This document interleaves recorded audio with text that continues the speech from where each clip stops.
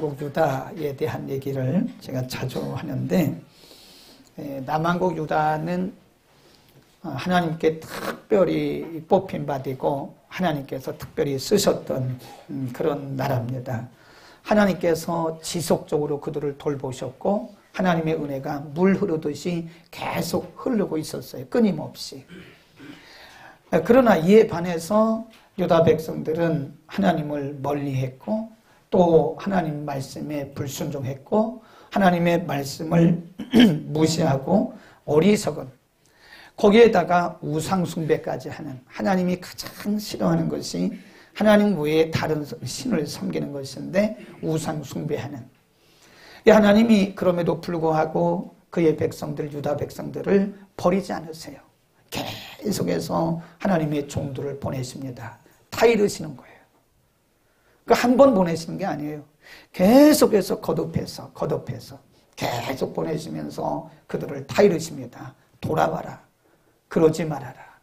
하나님이 때로는 그들에게 경고하십니다. 그러면 안 된다. 하나님이 경계하십니다. 근데 어, 유다 백성들이 듣는 귀가 닫혔는가 봐요. 하나님의 음성을 듣지를 못해요. 하나님이 그들을 사랑하셨기 때문에 그들에게 끊임없이 지속적으로 그들에게 종도를 통해서 하나님 말씀하셨지만 하나님이 나중에는 경고를 하세요. 너희가 만일 듣지 않고 너희가 만일 돌이키지 않으면 너희는 내가 보내는 나라에 의해서 너희는 포로가 될 거다. 그리고 이렇게 이렇게 포로가 되고 이만큼 너희가 포로가 될 것이라고 하나님께서 종도를 통해서 세밀하게 말씀하셔요. 근데 안 들어요. 그러니까 제가 보니까요.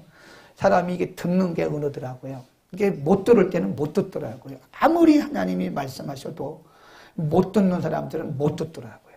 그러니까 유다 백성들이 못 듣는 거예요. 안 듣는 게 아닙니다. 못 듣습니다. 결국은 하나님이 그들에게 경고하신 대로 그들을 바벨론에 팔았어요. 그러니까 파는 겁니다.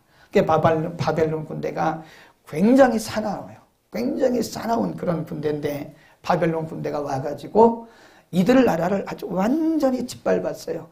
성읍들을 다 짓밟고 그리고 하나님의 성전, 하나님이 영광을 받으셔야 할 거룩한 임재, 임재장, 성전을 다 불태우고요. 하나님 앞에 예배를 드려야 할 그런 성물들을 가져다가 다 바벨론에 있는 신들을 섬기는데 이렇게 하나님의 영광이 짓밟힌 적이 없다고. 하나님의 존귀한 이름이 짓밟히고 하나님의 영광이 짓밟히는 그 수모를 당하는 거예요. 결국은 이들이 바벨론에 팔려가요. 바벨론에 팔려가서 그때 정신이 나는 겁니다. 아, 진짜였구나. 하나님의 말씀이 농담이 아니었네? 이게 되게 보면 인간이라는 게 그렇더라고요.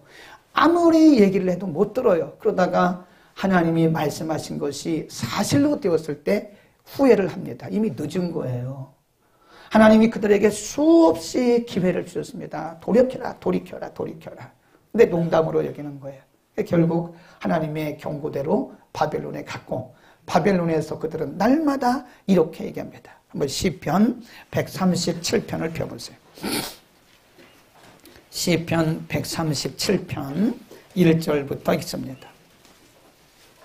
137편 1절 시작 우리가 바벨론의 여러 강변 거기에 앉아서 시온을 기억하며 울었도다 그 중에 버드나무에 우리가 우리의 수금을 걸었나니 이는 우리를 사로잡은 자가 거기서 우리에게 노래를 청하며 우리를 황폐케 한 자가 기쁨을 청하고 자기들을 위하여 시온 노래 중 하나를 노래하라 함이로라. 이 얼마나 비참한지 아세요? 여러 강이라고 하는 것은 오늘 말씀한 그발강입니다. 또 하나는 다르게 말하면 을레강이라고 그러는데요. 이들이 밤마다 이 그발강가에 모여서 그들은 탄식하는 겁니다. 바벨론 사람들이 이들을 얼만큼 부끄럽게 하는지 아세요? 거기 보세요. 2절에 보면 버드, 버드나무에 우리가 우리의 수금을 걸었다. 이는 우리를 사로잡은 자가 바벨론 사람이죠. 거기서 우리에게 노래를 청하여 우리를 황폐케 한 자가 우리에게 기쁨을 청한다. 그 말은 너희가 너희들을 섬기는 너희들이 하나님을 섬겼다며 너희가 하나님을 섬겼, 섬길 때 부르던 노래를 한번 불러봐. 그러면 찬송을 그렇게 부르는 건 아니잖아요.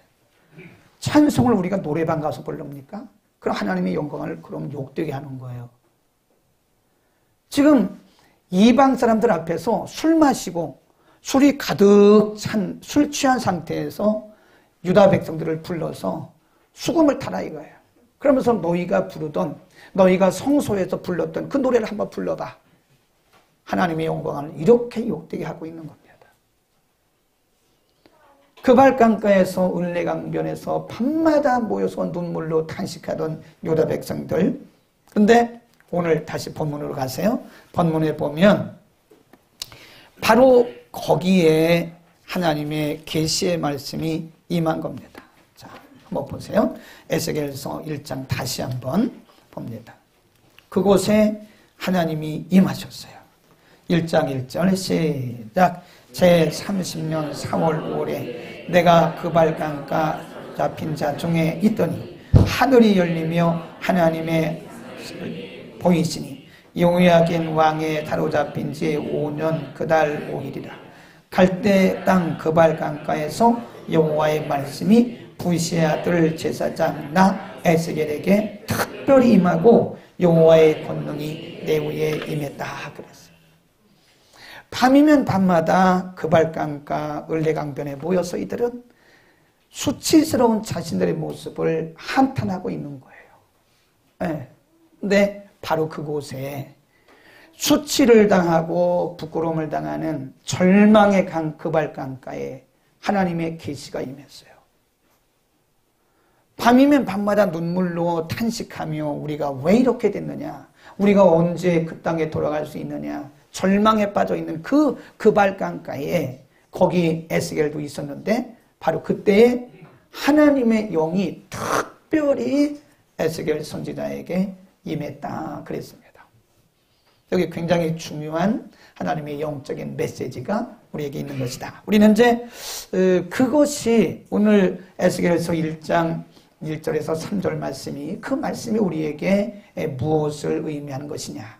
절망의 강, 그발강, 탄식의 강, 을레강, 강변들 그랬으니까 그, 그, 그 강이라는 게 위치가 이렇게 한정돼 있잖아요. 범위가. 그러니까 여러 강변에 모여서 을레강이라고도 하고 그발강이라고도 하는데 그, 그 절망의 강, 탄식의 강, 눈물의 강, 슬픔의 강, 그 강가에 하나님께서 특별히 말씀으로 임하셨다고 하는 것이 무엇을 우리에게 가르쳐 주는가? 그것은 하나님의 자비와 하나님의 은혜는 하나님의 선하심은 일회성이 아니라는 겁니다.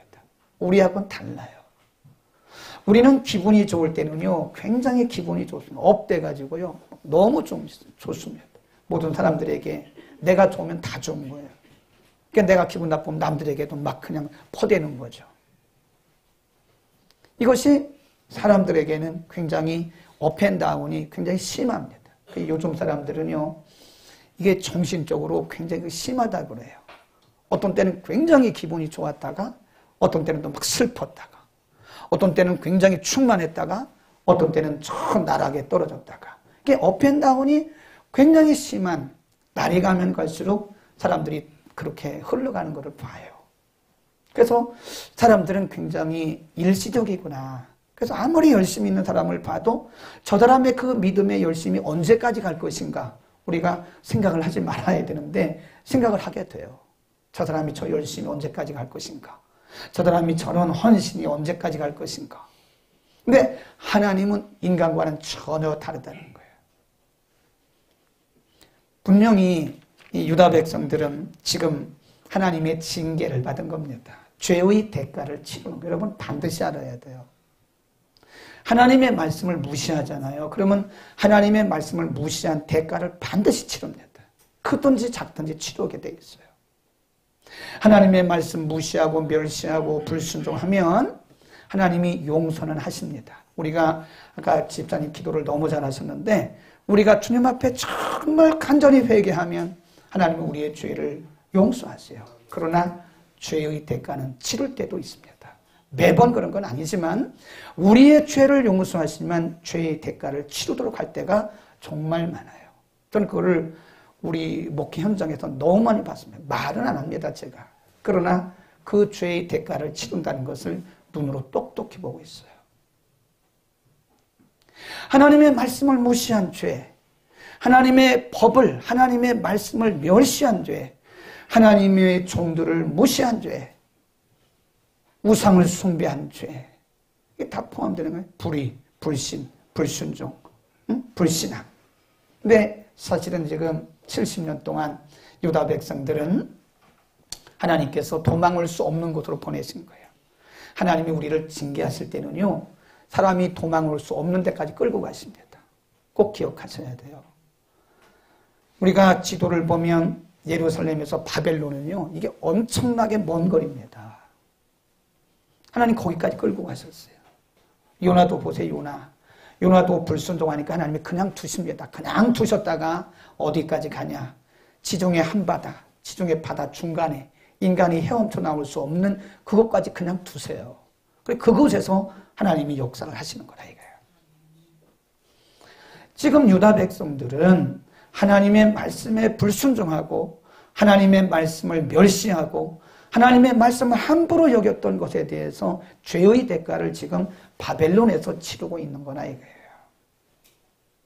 네, 그들의 눈물은 그들이 그동안에 하나님의 말씀을 무시했던 것에 대한 대가를 치르고 있는 거예요. 한, 한탄도 마찬가지고, 부끄러움도 마찬가지고. 근데 하나님께서 이들을 그냥 버리시면 하나님이 아니시죠. 그들을 징계는 하십니다. 그들의 잘못된 죄, 불순종, 불신앙, 우상숭배에 대해서 대가를 치르게 하셨지만 대가를 치른 다음에는 하나님 반드시 치료하세요. 아멘. 그러나 그 대가를 치르기 전까지는 과정이 힘든다는 사실을 우리가 반드시 알아야 됩니다. 하나님께서 그들을 그냥 버려두지 않습니다. 하나님 그들을 다시 끌어내세요. 그리고 그들이 지금 절망하고 있던 그 발강가에 낙심하고 그리고 사방이 어디를 봐도 소망이 없는 그 상황 속에서 하나님이 그들 가운데 임하셔서 내가 너희를 때렸지만 내가 너희를 고칠 거다. 내가 너희에게 징계를 했지만 내가 너희를 반드시 고칠 거라고 하는 나는 너희와는 다르다. 내가 여전히 너희를 사랑하고 있다고 하는 하나님의 속성을 우리에게 가르쳐 주는 겁니다. 시편 136편으로 한번 가봐요. 137편 바로 앞절에 보면 이런 말씀이 있어요. 136편 1절에 1절부터 26절까지 한 절도 빠짐없이 반복되는 단어가 있어요. 136편 1절 시작 여호와께 감사라. 그는 선하시며 그 인자하심이 영원하미로다. 2절. 모든 신에 뛰어나신 하나님께 감사하라. 그 인자하심이 영원합니다. 근데 인자하심이 영원하다가 계속 나오다가 1절에는 처음에 그의 선하심과 인자하심이 영원하다. 26절까지 한 번도 빠지지 않아요. 인자, 헤세드, 헤세드. 하나님의 자비 같은 겁니다. 인간을 향하신 하나님의 자비는 일회성이 아니라는 거예요. 사람은 일회적입니다. 그러나 하나님의 선하심과 인자하심과 자비하심은 반드시 그 영원하다는 사실을 우리에게 보여주는 거예요. 어, 한번 우리가 생각해 보자고요. 저나 여러분 같으면 그런 유다 백성들을 다시 찾아가겠습니까? 하나님이 한두 번 그들에게 경고했나요? 수십 번, 수백 번 그들에게 경고하고 경고하고 타이르고 타이르고 타이렀다고요. 근데 안 들어요. 하나님의 말씀을 무시하는 거예요. 그리고 결국은 하나님이 경고한 대로 그들을 바벨론에 파르셨잖아요. 뭐 우리 같으면 그래 너희는 끝이야. 그랬을지도 몰라요. 근데 하나님은 거기도 찾아가죠.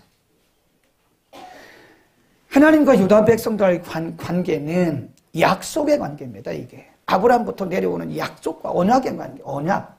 언약된 백성이에요. 유다 백성들은 비록 그들이 죄를 지어서 하나님 앞에 매를 맞고 있지만 그러나 하나님과 유다 백성들과의 관계는 언약의 관계, 언약 관계. 그래서 하나님의 언약은요, 이것은 영원하다는 거예요, 영원하다. 아멘. 그래서 우리는 하나님께서 우리를 징계하시는 것은 당연한 겁니다. 히브리서 12장에 보면 징계가 없으면 사생자라 그랬어요. 하나님 우리를 사랑하실수록 여러분 우리의 신앙이 성숙할수록요 우리가 생각만 잘못해도 하나님이 때로는요 징계하십니다. 생각만 했어요. 우리가 실제로 행동으로 옮긴 게 아니에요. 그런데 생각만 잘못해도 하나님이 때로 우리를 징계하실 때가 있어요. 우리가 믿음이 성숙하면 성숙할수록 하나님이 우리를 다루시는 방법이 좀 더 강해집니다. 강해져요. 기도의 응답은 점점 더뎌지고 참 희한하죠. 우리의 신앙이 성숙할수록 하나님 우리의 기도의 응답의 시간은 더뎌지고요. 하나님이 징계하시는 것도 굉장히 예민하십니다. 참 희한하더라고. 우리를 하나님 그렇게 다루시고 성숙시켜 나가는 거예요. 하나님이 우리를 징계하십니다. 징계하시는 것은 우리를 사랑하신다고 하는 그분의 표시예요. 그래서 하나님이 우리를 징계하실 때 우리가 반드시 알아야 할 것은 그럼에도 불구하고 하나님의 자비하심과 하나님의 선하심과 나를 향한 그분의 헤세드, 그분의 인자는 변함이 없다. 왜? 하나님과 나와는 무슨 관계예요? 언약의 관계래요. 언약 관계. 아멘. 그러니까 우리는 이 우리가 징계를 받을 때 우리는 당연한 것을 받아들여야 돼요. 하나님 앞에 따지면 안 됩니다. 하나님 제가 잘못했습니다. 그리고 그거를 그대로 다 받고 하나님 앞에 회개하고 하나님을 바라봐야 돼요. 하나님 반드시 고쳐주셔요. 그 다음에 두 번째, 오늘 을레강변에 그발강가에 임한 하나님의 계시, 에스겔을 통해서 임한 하나님의 계시는 우리에게 뭘 의미하는가 생각해 보세요. 하나님의 거룩한 백성들이 평생을 하나님을 찬양하고 예배만 드렸던 사람들이 이런 사람들이 타국에 끌려가서 믿지도 않는 그 불신자들 앞에서 술을 잔뜩 먹고 술이 취한 상태에서 너희가 불렀던 찬송 한번 불러봐. 이게 얼마나 부끄럽고 얼마나 수치스러운 일이냐 이거예요. 응? 소망이 없어요, 소망이. 그 땅에서 언제 해방된다는 보장도 없지. 또 이 바벨론 사람들은요 성경에 보면 짐승 같다 그래요. 짐승. 하나님이 그들을 징계하실 때 약한 나라에 붙이신 게 아니에요. 짐승 같은 나라에 붙이셨어요. 그래서 거기서 한번 하나님의 하나님이 얼마나 세게 그들을 다루셨는지 몰라요. 소망이 없습니다. 무슨 소망이 있겠습니까? 그 그발 강가에서 밤이면 밤마다 자기들끼리 후회하며 과거를 바라보며 뉘우치긴 했지만 그들에게 소망이 없었어요. 근데 그 절망의 강에 수치의 강에 바로 하나님의 계시가 임했고 거기에 있던 에스겔 선지자에게 하나님의 임재가 임했다라고 하는 것은 하나님이 그들에게 소망을 주시기 위한 것이다. 우리가 에스겔서 전체가요 48장입니다.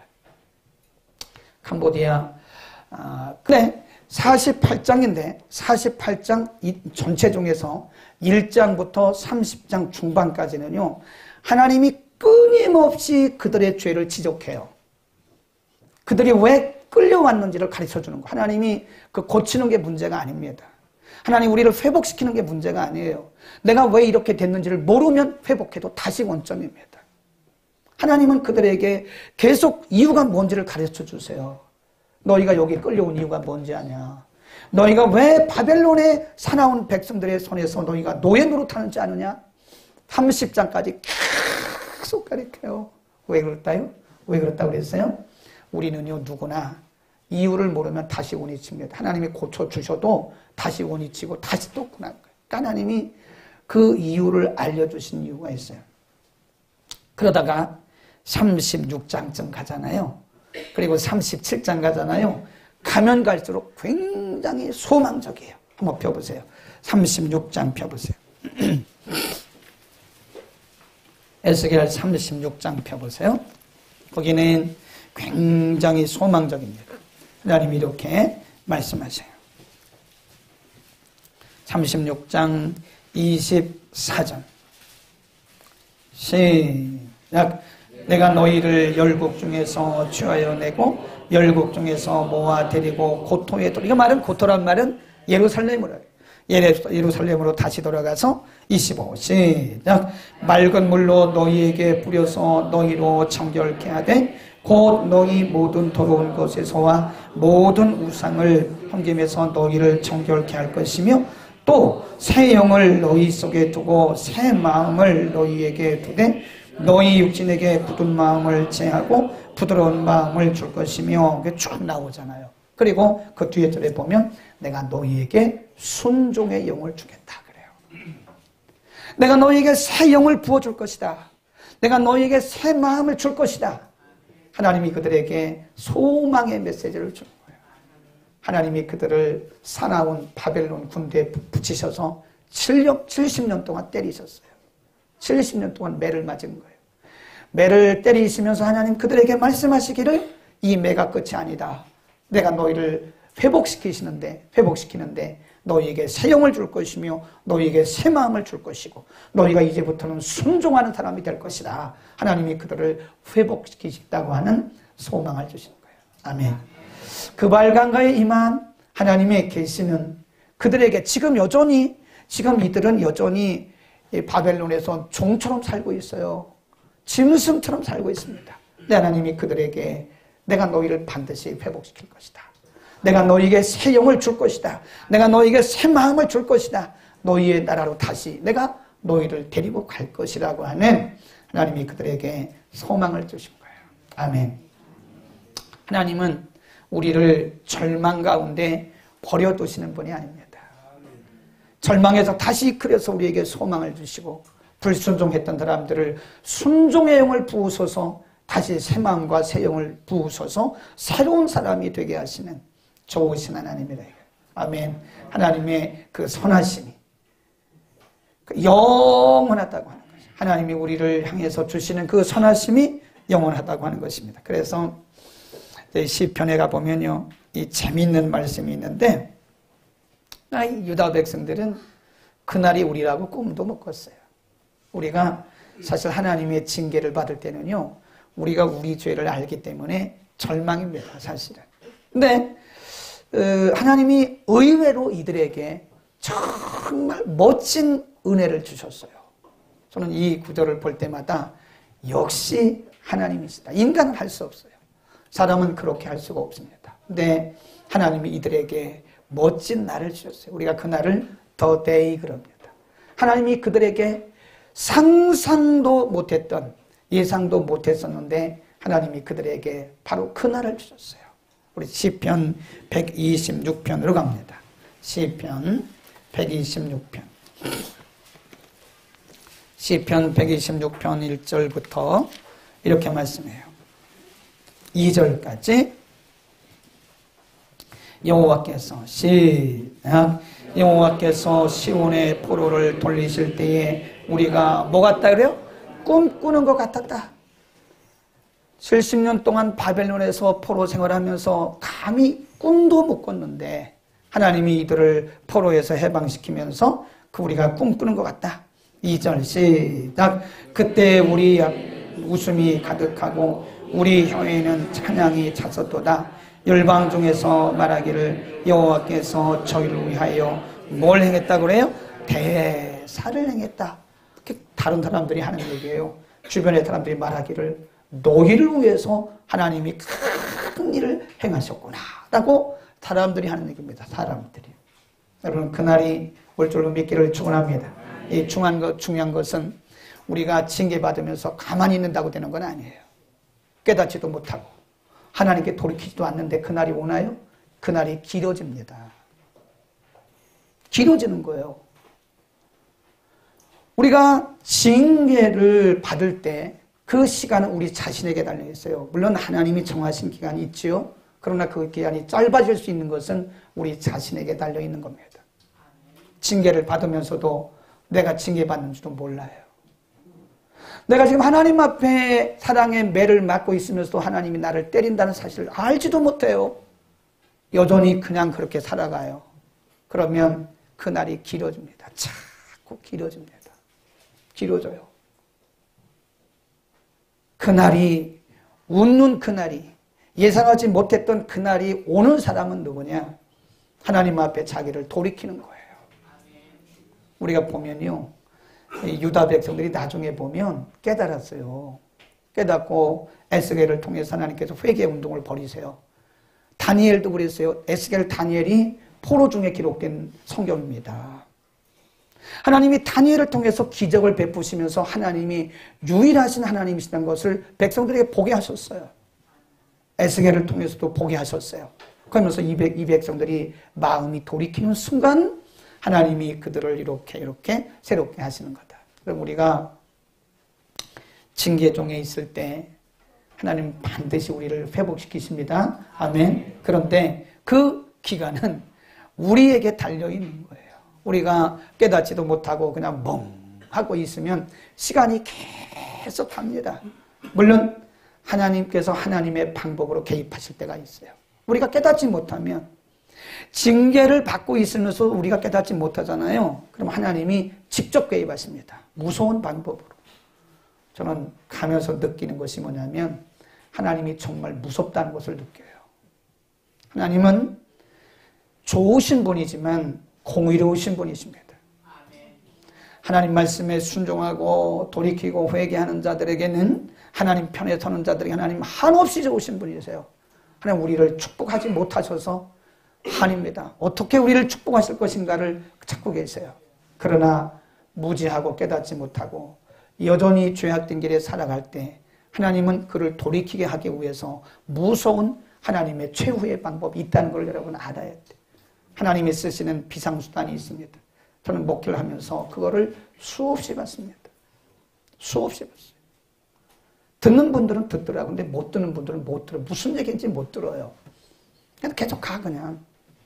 그러다가 다시 돌아올 수 없는 그런 지중해 한가운데 요나를 부르신 것처럼 유다 백성들이 스스로는 올 수 없는 바벨론의 먼 거리에 파리셨던 것처럼 하나님 우리를 그렇게 파실 때야 후, 후회하고 양손 들고 돌아오면 그만큼 얼마나 우리가 시간 낭비요 얼마나 많은 사람들이 고생을 하냐 이겁니다. 깨닫기를 축원합니다. 하나님의 음성 듣기를 바랍니다. 하나님은 좋으신 분입니다. 소망 주신 분입니다. 단 우리가 돌이키고 회개하고 하나님 편에 설 때 우리에게는 무한한 소망과 기쁨을 공급해 주시는 분이시다. 그 다음에 마지막으로 오늘 절망에 빠진 그 탄식의 강, 절망의 강, 그발강가에 하나님의 계시의 말씀이 임한 것은 우리에게 뭘 말씀해 주는가 하면 여러분이 지도를 한번 놓고 보시면요. 지금 보지 마시고 끝나고 나서 보시면 그 예루살렘은 이쪽이고요. 바벨론은 이만큼 티그리스 강, 그 유브라데스 강 그쪽입니다.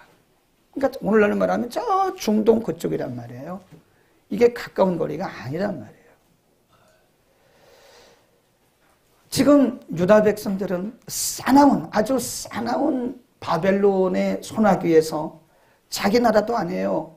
먼 이국 땅에서 이렇게 슬픈 날마다 절망의 삶을 살고 있는데 어느 날 갑자기 하나님께서 에스겔 선지자에게 임하셔서 계시의 말씀을 주신 것은 뭐예요?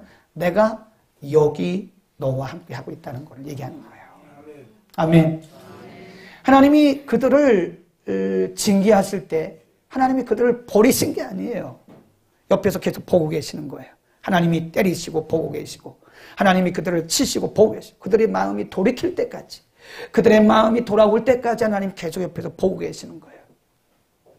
내가 너와 함께하고 있다고 하는 48장 그러니까 마지막 절에 보면 여호와 샴마라고 하는 단어를 써요.